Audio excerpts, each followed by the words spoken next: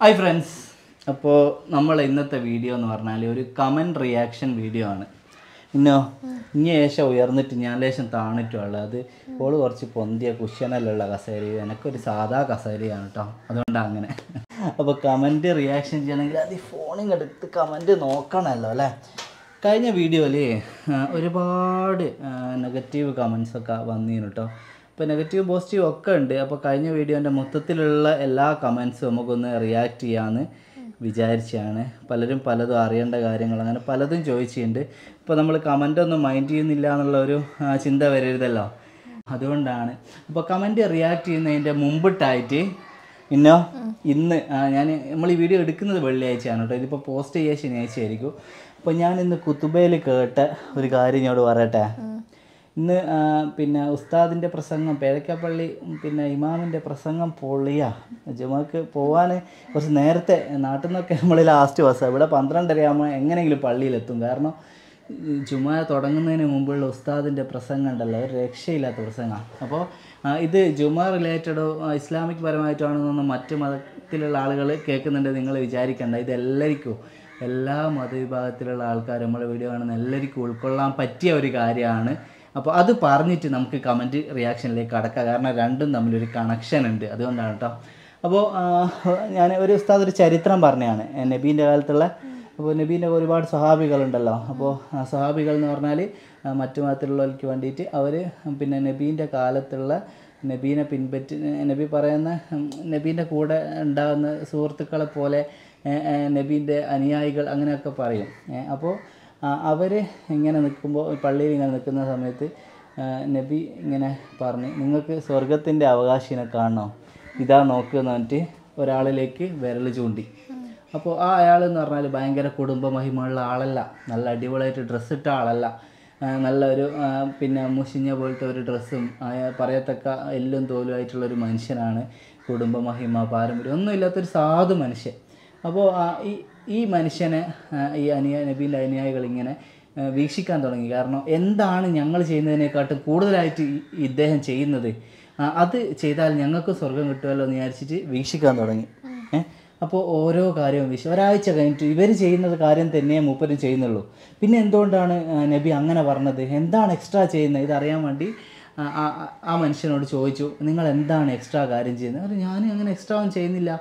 ഞാൻ നിസ്കരിക്കുന്നുണ്ട് നല്ല കാര്യങ്ങൾ ചെയ്യുന്നുണ്ട് നിങ്ങൾ ചെയ്യുമ്പോൾ തന്നെ എക്സ്ട്രാ ഒന്നും ഞാൻ ചെയ്യുന്നില്ലല്ലോ. ഇപ്പോൾ അദ്ദേഹത്തോട് പറഞ്ഞ നബി നിങ്ങളെ ചൂണ്ടിക്കാണിച്ചിട്ടാണ് പറഞ്ഞത് നിങ്ങൾ സ്വർഗത്തിന്റെ അവകാശിനെ കാണണമെങ്കിൽ ഇതേ അദ്ദേഹത്തെ നോക്കൂന്ന്.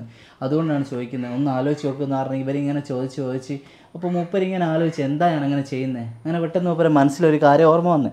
അപ്പോൾ അതായിരിക്കും ചിലപ്പോൾ എന്നുള്ളൊരു ഉദ്ദേശത്തിൽ അനുയായികളോട് അദ്ദേഹം പറഞ്ഞ് ഞാൻ എക്സ്ട്രാ ചെയ്യുന്ന ഒരൊറ്റ കാര്യമുള്ളൂ ഞാൻ ദിവസവും വീട്ടിൽ നിന്ന് ഇറങ്ങുമ്പോൾ പറയും എന്നെപ്പറ്റി ആരെന്ത് പറഞ്ഞാലും എന്റെ പച്ച മാംസം ആരാണ് ഭക്ഷിക്കുന്നത്? എന്നെപ്പറ്റി ആരെന്ത് കുറ്റാണ് പറയുന്നത്? അതൊക്കെ ഞാൻ അവർക്ക് പൊരുത്തപ്പെട്ട് കൊടുത്തിരിക്കുന്നു. അതേപോലെ ഞാനും ആരെയും കുറ്റം പറയില്ല എന്ന് പറഞ്ഞിട്ടാണ് ആ മനുഷ്യൻ പുറത്തേക്ക് ഇറങ്ങുക. ഏ അപ്പോൾ ആ ഒരു കാര്യം ഒറ്റൊരു കാര്യം കൊണ്ടാണ് നബി പറഞ്ഞത് സ്വർഗത്തിലേക്ക് അടക്കുന്ന ആളെ കാണണമെങ്കിൽ ഇതേ അങ്ങോട്ട് നോക്കുമെന്ന് അത്രത്തോളം അത് നമുക്കൊക്കെ സാധിക്കാറുണ്ടോ? ഈ വീഡിയോ കാണുന്ന നിങ്ങളിൽ എത്ര പേർക്ക് സാധിക്കാറുണ്ട് എന്റെ കാര്യം വിപരീതമല്ല. അതായത് നമ്മളെ കൊണ്ട് ഒരാൾ എന്തോ പറഞ്ഞിരിക്കുന്നു ദൂരെ നിന്ന് നമ്മൾ വേറെ ആരോ പറഞ്ഞ് അറിഞ്ഞാൽ എന്തായിരിക്കും നമ്മളെ അവസ്ഥ? ഓൻ അങ്ങനെ പറഞ്ഞു ആഹാ ഓനെ വിടരുത്. എന്നിട്ട് പിന്നെ ഓനോട് മിണ്ടൂല ഓനുമായിട്ട് വഴക്ക് ഇല്ലേ?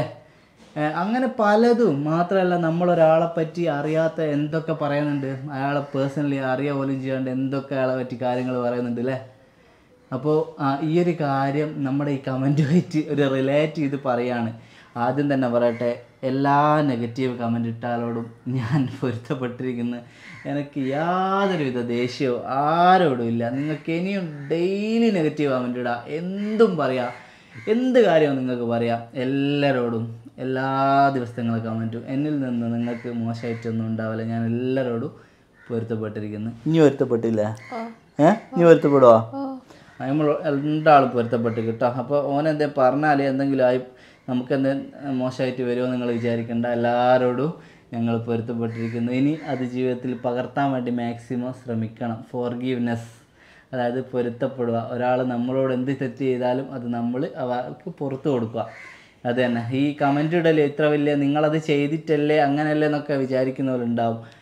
നമ്മളെ ഏത് മതത്തിലും പഠിപ്പിക്കുന്നതെന്ന് വെച്ചാൽ ഒരാളെ പറ്റിയും അങ്ങനെ നമുക്കറിയാത്ത കാര്യങ്ങൾ പറയരുത് എന്നുള്ളതാണ്. അതൊക്കെ വിഷയമല്ല കേട്ടോ നമുക്കതൊരു സങ്കടമല്ല ഒരു ഇതുമല്ല ഞാൻ പറഞ്ഞ കമന്റിന്റെ കുറച്ച് കാര്യം കമൻസ് വായിക്കാം.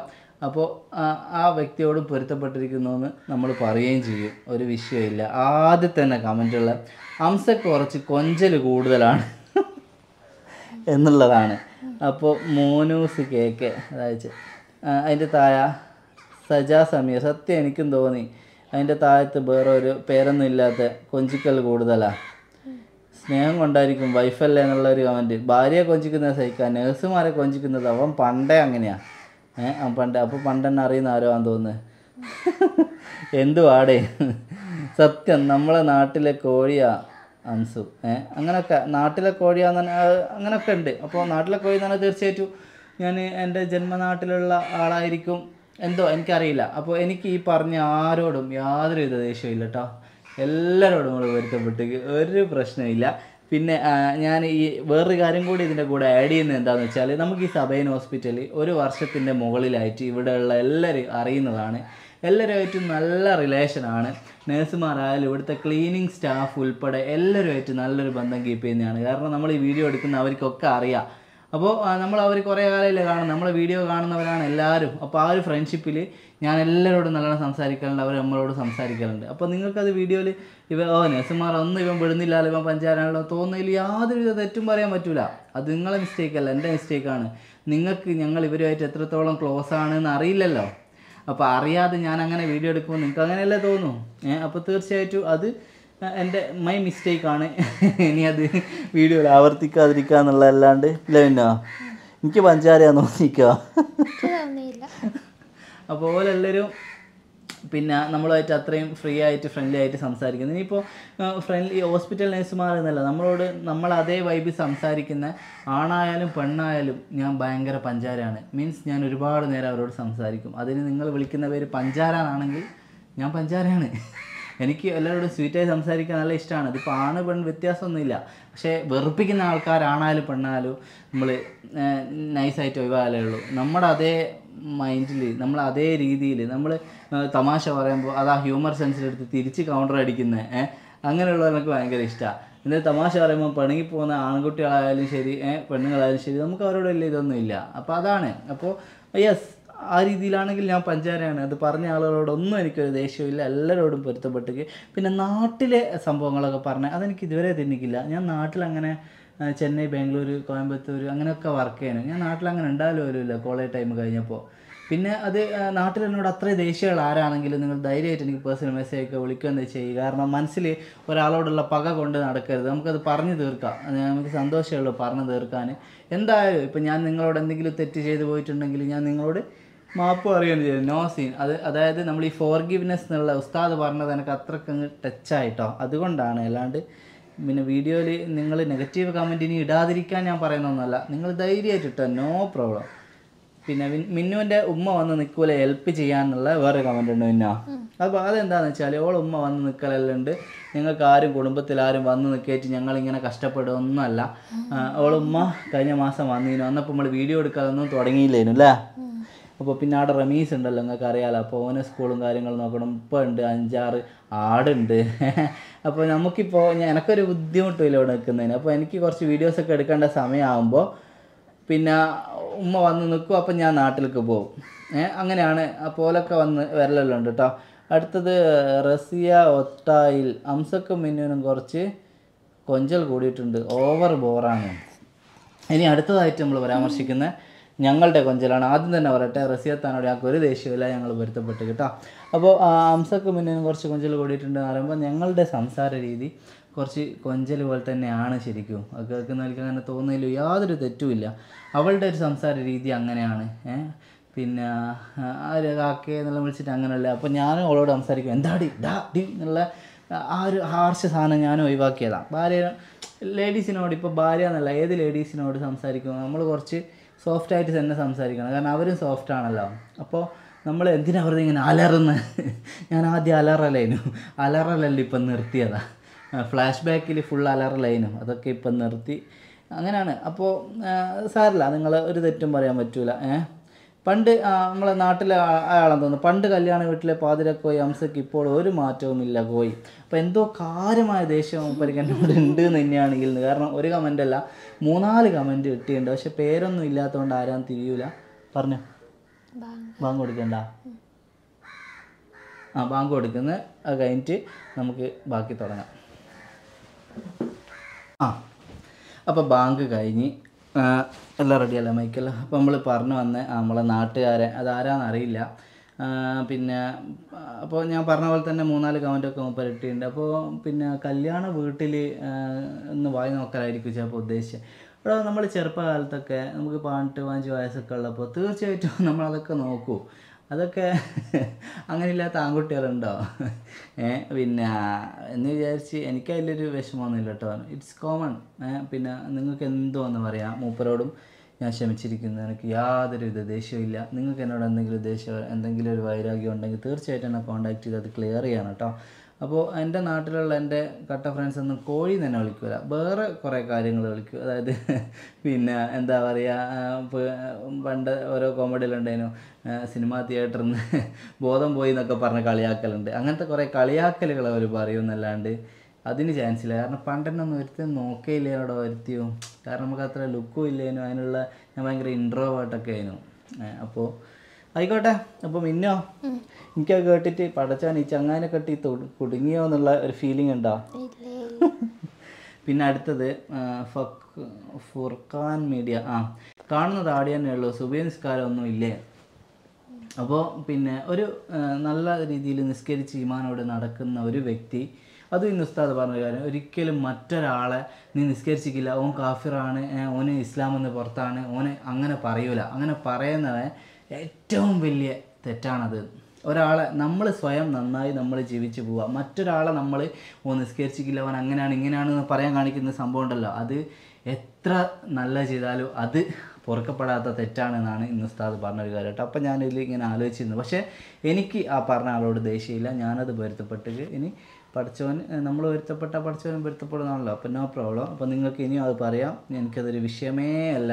ഞാൻ നിങ്ങളത് പറയുന്നതിലൂടെ ഞാൻ ക്ഷമിക്കുന്നതിലൂടെ എനിക്ക് പഠിച്ചുകൊണ്ടിരുന്ന നല്ല കാര്യങ്ങൾ വരുമെങ്കിൽ തീർച്ചയായിട്ടും ഞാൻ ക്ഷമിക്കും.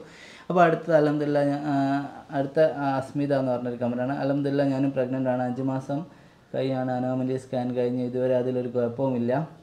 ഈ വീഡിയോ കാണുന്ന എല്ലാവരും എനിക്ക് വേണ്ടി ദുവാ ചെയ്യണം. മിന്നു ടെൻഷനൊന്നും വേണ്ടിട്ട് ഒരു പ്രശ്നം ഉണ്ടാവില്ല. അത്രയ്ക്ക് കെയർ ചെയ്യുന്ന ഒരു ഇക്കയുടെ കൂടെ തന്നെയല്ലേ എല്ലാം ഉള്ള എളുപ്പമാക്കി തട്ട ഓഫ് അതെനിക്ക് വളരെ അധികം ഇഷ്ടമായി അസ്മിത.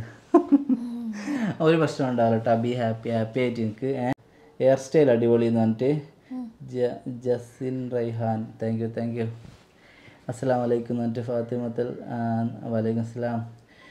ഞങ്ങൾ ഹോസ്പിറ്റലിൽ പോയിക്കൊണ്ടിരിക്കുന്നതിന് ഏകദേശം പതിനഞ്ച് കിലോമീറ്റർ.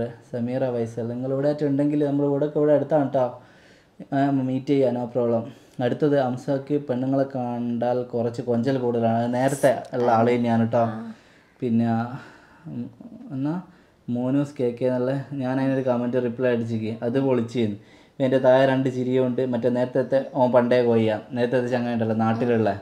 അപ്പോൾ ഓന് അടങ്ങുന്നില്ല കലിയും തോന്നുന്നു. അപ്പം ഞാൻ ക്ഷമിച്ചിക്ക് നോ പ്രോബ്ലം പിന്നെ ഞാൻ അടുത്ത ഒരു ഇതുണ്ട്. ഞാൻ സബൈൻ ഹോസ്പിറ്റലിൽ ട്രീറ്റ്മെന്റ് എടുത്ത് എനിക്ക് രണ്ട് കുഞ്ഞുങ്ങളുണ്ടായി. ഇപ്പോൾ രണ്ട് മാസമായി ഒരുപാട് നന്ദിയുണ്ട് ഹോസ്പിറ്റലുള്ളവരോട് സബൈൻ സർ സ്റ്റാഫുകളോട്. അങ്ങനെ ഒരു ലോങ് കമന്റാണ് അപ്പോൾ ഇവിടുന്ന് ട്രീറ്റ്മെന്റ് ചെയ്തതാണ്. ഓക്കെ അടിപൊളി ഗുഡ് അടുത്തത് നിങ്ങളുടെ വീഡിയോ എപ്പോഴും കാണാറുണ്ട്. Samad Kapoor thank you thank you so much love you അടുത്തത് ഇപ്പോൾ എല്ലാവർക്കും ഉണ്ട്. കുട്ടികളുടെ എല്ലാം അറിയുന്ന സ്കാനിങ് അതെ അഫ്രിൻ ഷാനു തന്നെ ഓക്കെ താടിയുള്ളത് കൊണ്ട് പ്രായം തോന്നുന്നു.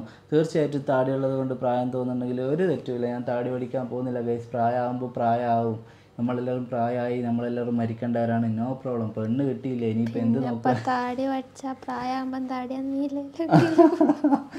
എനിക്ക് പ്രശ്നം കേട്ടോ. പ്രായം കൂടുമ്പോൾ എനിക്ക് ഫീൽ ചെയ്യുന്നതിന് വേറെ ആർക്കും പ്രശ്നം ഉണ്ടെങ്കിൽ വിഷയമല്ലല്ലോ. നമ്മൾ ഇതൊരു ഇഷ്ടം കൊണ്ട് പറഞ്ഞായിരിക്കും. നിങ്ങളങ്ങനെ തെറ്റു പറഞ്ഞല്ല കേട്ടോ. പിന്നെ താടി താടി നമ്മളെ ഇജ്ജത്തല്ലേ എന്ന് പറയുന്നില്ലേ? അതന്നെ. പ്രായമൊക്കെ കൂടട്ടോ അതിനെന്ത് ഇപ്പം എന്ത്? നമ്മളെ ക്യാരക്ടർ ഒരാൾക്ക് ഇഷ്ടപ്പെട്ടാൽ മതി. നമ്മൾ ശരീരം കണ്ട് ഇഷ്ടപ്പെടുന്ന വൈഫ് നമ്മളെ അടുത്തില്ലേ? അതുപോലെ. കുറച്ച് ചാടുണ്ട്. കുറച്ച് മൂപ്പര് പറഞ്ഞേ ഉള്ളൂ. അത് നേരത്തെ ആ നാട്ടിലുള്ള അതാന്ന് തോന്നുന്നു. അവസാനം ലാസ്റ്റ് ത്രീ കെ എന്ന രീതി കാണുന്നുണ്ട്. പതിനെട്ട് മണിക്കൂർ മുമ്പിട്ടതാ അപ്പോൾ ജാഡ ജാഡേനെ പറ്റി പറയുകയാണെങ്കിൽ സംഭവം എന്ന് പറഞ്ഞാൽ ഞാൻ എനിക്ക് വേറൊരു കാര്യം പറയാനുള്ളത്. ഹോസ്പിറ്റലിൽ ഒരുപാട് ആൾക്കാർ നമ്മളങ്ങനെ ട്രീറ്റ്മെന്റ് അവിടെ കാണിക്കാൻ വരുമ്പോൾ കാണലുണ്ട്. അപ്പോൾ ചിലർ നമ്മളോട് വന്ന് സംസാരിക്കും. അവരോട് പിന്നെ നമ്മൾ അങ്ങോട്ട് നല്ല ഇല്ല സംസാരിക്കും. വേറെ ചിലർ ഇങ്ങനെ നോക്കൂ. അപ്പോൾ ഞാൻ എന്തിനോ തിരിഞ്ഞ് നോക്കുമ്പോൾ നോക്കുന്നത് കാണും. നമ്മൾ തന്നെയാണോ കൺഫ്യൂഷൻ ഞാൻ ഇങ്ങനെ അകത്ത് തിരിക്കും. ഏഹ് അപ്പോൾ കഴുത്തല്ലെങ്കിൽ തിരിച്ചു അപ്പോൾ ഓൽ ചിലപ്പോൾ നമ്മളോട് സംസാരിച്ച് പോകുമ്പോൾ വലിയ ജാടായിരിക്കും. അതിന്റെ അടുത്ത് വെച്ച് കണ്ണടെല്ലാം കാണുമ്പോൾ ഓ ഓനാര് എന്നുള്ള ഇതിന്റെ സീൻ എന്താണെന്നുള്ളത് നിങ്ങൾക്ക് അറിയാമല്ലോ നമ്മൾ വീഡിയോ ഡെയിലി കാണുന്നവർക്ക്. അപ്പോൾ ആ- ഒരു പിന്നെ നമ്മളോട് ഒരിക്കലെങ്കിലും സംസാരിച്ച ഒരാൾ ഞങ്ങൾ ജാടയാന്ന് പറയൂല.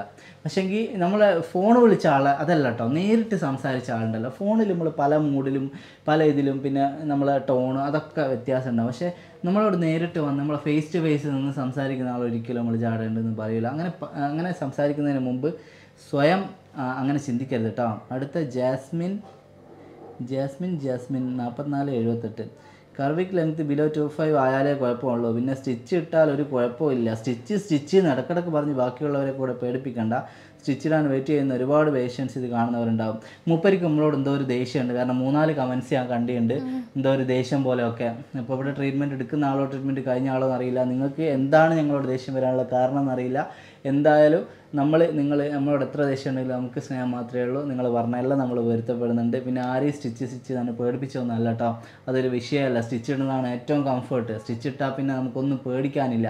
അപ്പോൾ ഏഹ് പിന്നെ നമ്മളത് പറഞ്ഞു വെച്ചാൽ നമ്മളെ പെട്ടെന്ന് അത്രയും പൈസ ഇല്ലാത്തതുകൊണ്ടാണ് ഇത്രയും പൈസ നമ്മൾ ഭയങ്കര അങ്ങനെ അങ്ങനെ തട്ടിയ മുട്ടി ഈ യൂട്യൂബിൽ ഇഷ്ടയിലായിട്ട് പോലും പ്രഗ്നൻസി വീഡിയോ ഒക്കെ ഇടുന്നതെന്ന് വെച്ചാൽ നമുക്ക് കൊടുത്ത ട്രീറ്റ്മെന്റിനൊക്കെ ഒരുപാട് എമൗണ്ട് വേണ്ടിയിട്ടാണ് അതൊക്കെ നമ്മുടെ അടുത്ത് സെറ്റാണെങ്കിൽ ഒരു വർഷം ചിലപ്പോൾ നമ്മൾ വീഡിയോ നിങ്ങൾ ബ്രേക്ക് ചെയ്യുന്നു അല്ലേ വീഡിയോ ഇടാണ്ട്. ഇത് ഇഷ്ടമായിട്ട് ഇവക്കു അങ്ങനെ പ്രഗ്നൻസിന്റെ ഓരോ കാര്യം ഇങ്ങനെ ക്ലീശ പരിപാടിയാണെന്നൊക്കെ അറിയാം.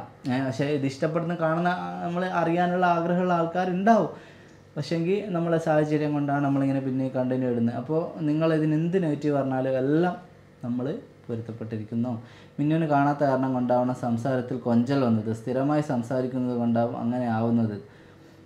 സ്ഥിരമായിട്ട് മിന്നുവിനെ കാണാത്ത കാരണം കൊണ്ടാവണം സംസാരത്തിൽ കൊഞ്ചൽ വന്നത്. സ്ഥിരമായി സംസാരിക്കുന്നത് കൊണ്ടാവും അങ്ങനെ വന്നത്. അത് മുപ്പര് നല്ല രീതിയിൽ നമ്മളെ സപ്പോർട്ട് ചെയ്ത് പറഞ്ഞതാണ്. മൊയ്തീൻക്ക് ഒരുപാട് താങ്ക്സ് അപ്പോൾ തീർച്ചയായിട്ടും അവർ അവൾ എന്നോട് കൊഞ്ചി സംസാരിക്കുന്നതാണ് എനിക്കിഷ്ടം. എനിക്കും അതുപോലെ അവളോട് കൊഞ്ചി സംസാരിക്കുന്നത് ഇഷ്ടം. പക്ഷെ അത് നിങ്ങൾ ഇഷ്ടപ്പെടണമെന്നില്ല. ആ അത് അത് നിങ്ങൾക്ക് തീർച്ചയായിട്ടും ഇഷ്ടപ്പെടില്ല കാരണം ഇവർ വീഡിയോന് വേണ്ടി ഓവറാകുന്നതാണെന്നൊക്കെ തോന്നും. പക്ഷെ നമ്മൾ അങ്ങനെ ആയിപ്പോയി നമ്മൾ പിന്നെ ക്യാരക്ടറും നമ്മളെ ആറ്റിറ്റ്യൂഡ് നമ്മളെ ആ പ്രൊനൗൺസിയേഷൻ നമ്മൾ എന്ത് സാഹചര്യത്തിലും മാറ്റരുത് എന്നല്ലേ. അപ്പോൾ നിങ്ങൾക്ക് ഞങ്ങൾ അങ്ങനെ തന്നെ ആയിപ്പോയി. അതൊക്കെ അക്സെപ്റ്റ് ചെയ്തിട്ട് നിങ്ങൾ സന്തോഷത്തോടെ വീഡിയോ കാണാൻ ഇഷ്ടമുള്ളവർ അപ്പോൾ ഈ ക്യാരക്ടർ മാറ്റിയാൽ നമ്മൾ നമ്മളല്ലാണ്ടായി പോലെ അടുത്തത് അലഹമില്ല നിങ്ങൾ സുബൈ നിസ്കരിക്കാറില്ലേ? അപ്പോൾ അതൊരു വളരെ പ്രസക്തമായ ഒരു ക്വസ്റ്റ്യൻ ആണ്. കാരണം നമ്മൾ ഈ വീഡിയോയിൽ പിന്നെ നിസ്കരിക്കുന്നതും പിന്നെ അങ്ങനത്തെ കാര്യങ്ങളൊക്കെ വീഡിയോയിൽ ഉൾപ്പെടുത്തുന്നത് അത്ര നല്ലതാണെന്ന് എനിക്ക് തോന്നാത്തതുകൊണ്ടാണ് ഞാൻ രാവിലെ എണീച്ച് സുബൈ നിസ്കരിക്കുന്നതിന്റെ ഒന്നും വീഡിയോ എടുക്കാത്തത്. നമ്മൾ നേരെ കിച്ചണിലേക്ക് വരുമാണ് ഹായ് ഫ്രണ്ട്സ് എന്ന് പറഞ്ഞിട്ട് നമ്മൾ അങ്ങനത്തെ കാര്യങ്ങളൊക്കെ പറയുന്നത്. നമ്മൾ ചില കാര്യങ്ങൾ നിങ്ങൾ ബാത്റൂം പോകുന്നതും പല്ലേക്കുന്നതൊക്കെ വീഡിയോയിൽ ഉൾപ്പെടുന്നവരുണ്ടാവാം. അപ്പോൾ ഞങ്ങൾ അങ്ങനത്തെ പിന്നെ അതും പിന്നെ നിസ്കാരവും ഖുറാനും ഒന്നും ആ പരമായ കാര്യമൊന്നും വീഡിയോയിൽ ഉൾപ്പെടുത്തലില്ല.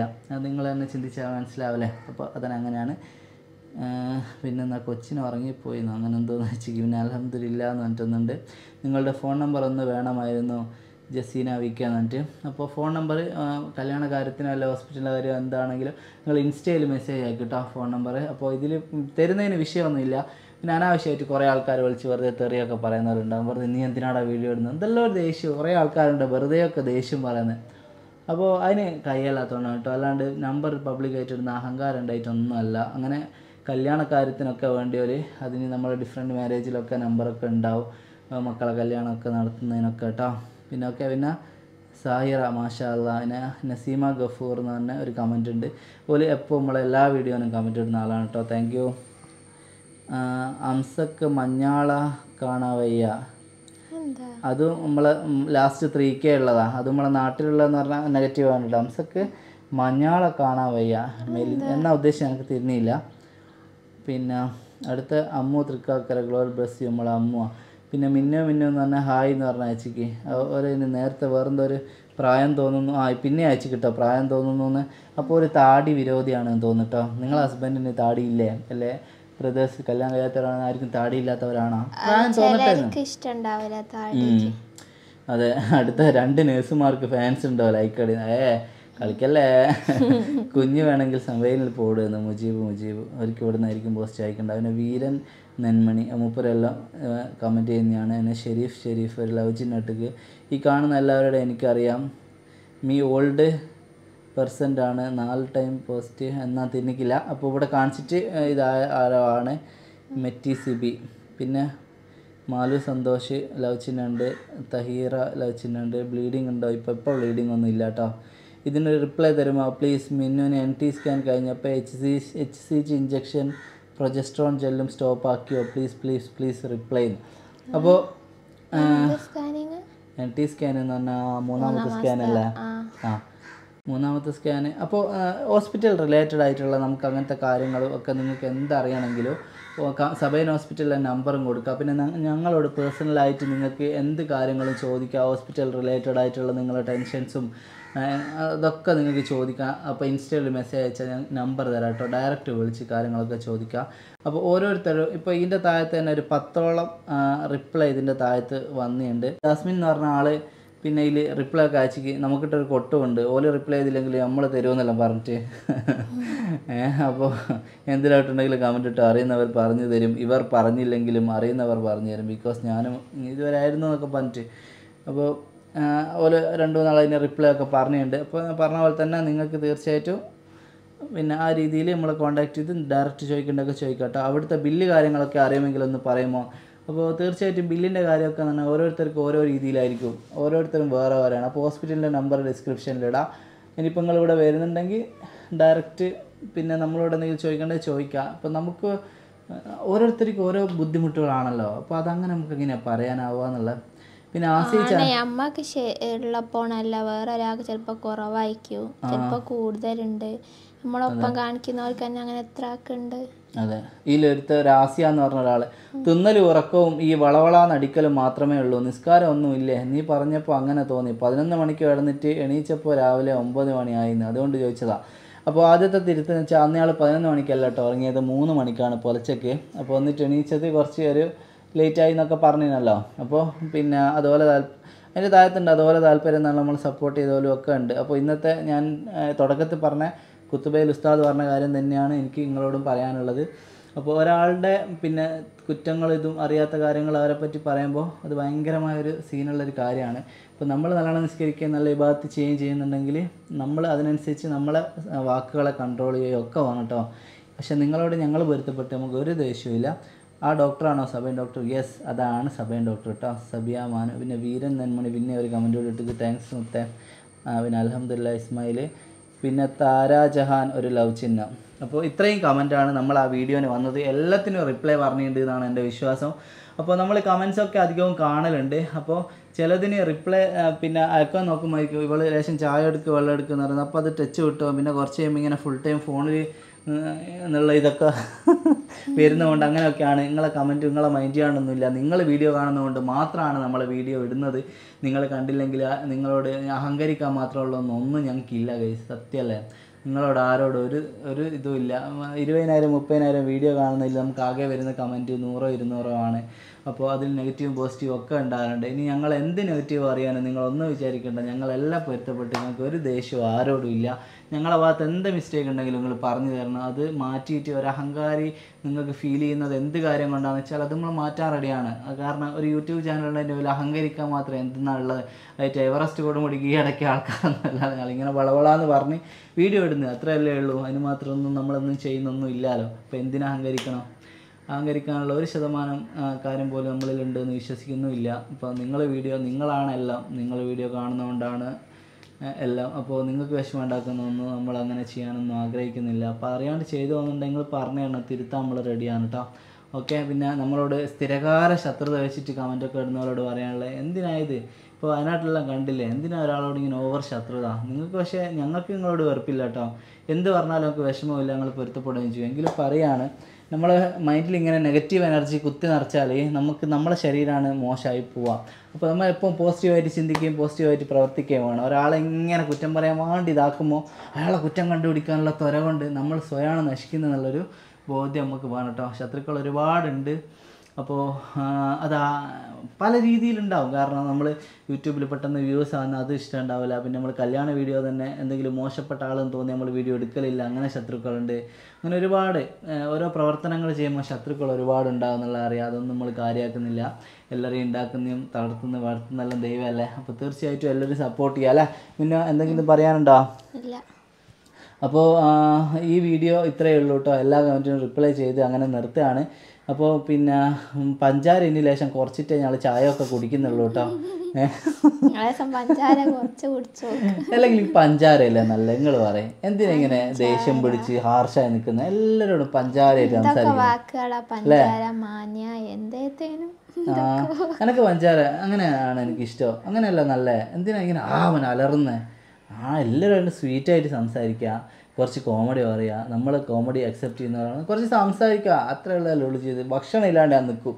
സംസാരിക്കാണ്ട് നിൽക്കാനാവില്ല കേട്ടോ. എന്ന് വിചാരിച്ച് ഇപ്പോൾ നമ്പറിൽ വിളിച്ചിട്ട് ഇങ്ങനെ കഥ പറയാൻ നിൽക്കണ്ട. നമ്മളെ മൈൻഡ് സെറ്റ് പോലെയാ.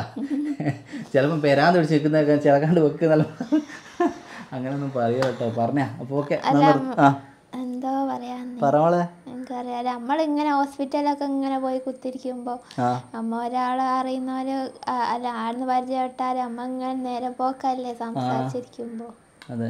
അതുപോലെ പർട്ടിക്കാരുകളാണ് നമ്മൾ കഴിഞ്ഞ വീഡിയോയിലുള്ള നേഴ്സ് നേഴ്സുമാരെ കാണുമ്പോൾ ഞാൻ പഞ്ചാര എന്നിരിക്കില്ല ആ വീഡിയോയിൽ കുറച്ച് ഓലും സംസാരിക്കാൻ കുറച്ച് വേണ്ടേ? എന്ത് ഞാൾ തന്നെ ഇങ്ങനെ ബളബളാന്ന ശരിയാലോ അപ്പോൾ ഓൽ പറയുന്നതും കൂടെ അങ്ങനെ വീഡിയോ എടുക്കുന്നില്ല. കാണുന്ന ഒരാൾക്ക് അങ്ങനെയൊക്കെ ഫീൽ ചെയ്യും. ഇനി അതെല്ലാം താണ്ടി ഞാനൊരു പവിത്രമായ ചങ്ങായാന്നൊന്നും ഞാൻ ഒരിക്കലും പറയുന്നില്ല കേട്ടോ നല്ലൊരു ചെറിയാളെ കണ്ടാൽ പഞ്ചാര അടിക്കാനൊക്കെ തോന്നും. പക്ഷെ അന്നേരം അന്നേരം? അന്നേരം എന്ത്? അന്നേരം പഞ്ചാര അടിക്കൂ. അതിനിപ്പോൾ എന്താ തെറ്റ്? സംസാരിക്കലാണല്ലോ പഞ്ചാര എന്ന് പറയുന്നത് അതിപ്പോൾ നല്ല പിന്നെ നമ്മളോട് അതേ വൈബ് സംസാരിക്കുന്ന ആണുങ്ങളോട് പഞ്ചാര അടിക്കൂ. അതിനിപ്പോൾ എന്താ? നോ പ്രോബ്ലം നമ്മൾ പിന്നെ അതൊന്നും അങ്ങനെ എന്താണ് പറയണ്ടേ? എന്നാ പിന്നെ നിർത്ത. വെറുതെ അതും ഇതും പറഞ്ഞ് ഇതാക്കുന്നില്ല. നിർത്തല്ലോ ഇന്നോ. നീ പഞ്ചാര അടിക്കലുണ്ടോ? ഞാൻ അടിക്കില്ല ഞങ്ങളോട് ഞാൻ കുറച്ചൊന്ന് പരിചയമായ അവരോട് കഥ അറിഞ്ഞൊത്തിരിക്കും അത് തന്നെ എന്തിനാ പുറത്തുള്ള പഞ്ചാര? പുറയെ തന്നെ ഇഷ്ടം പോലില്ലേ അല്ലേ ഏ? അതെ.